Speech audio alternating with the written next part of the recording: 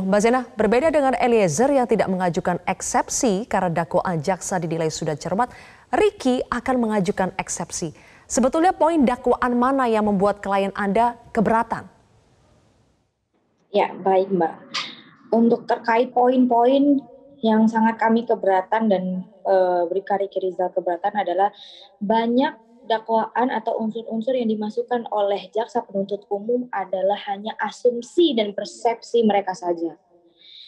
Banyak juga yang tidak sesuai dengan keterangan BAP saksi-saksi maupun tersangka-tersangka lainnya. Banyak juga yang ditambahkan yang sangat benar-benar tidak sesuai. Jadi kami menganggap bahwa dakwaan jaksa penuntut umum tersebut adalah tidak cermat, tidak akurat, hmm. dan hanya persepsi dan asumsi jaksa penuntut umum saja. Contohnya yang mana Mbak Zena yang persepsi dan asumsi itu?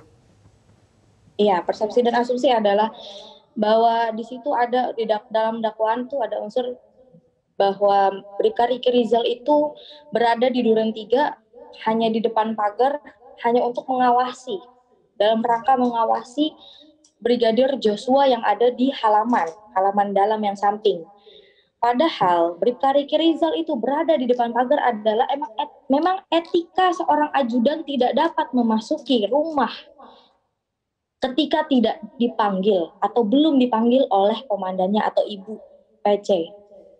Makanya dia itu di depan. Hmm. Tapi di situ dimasukkan oleh jaksa asumsi dan persepsi adalah seakan-akan klien kami hanya mengawal untuk mengawasi agar Brigadir Joshua tidak pergi ke mana-mana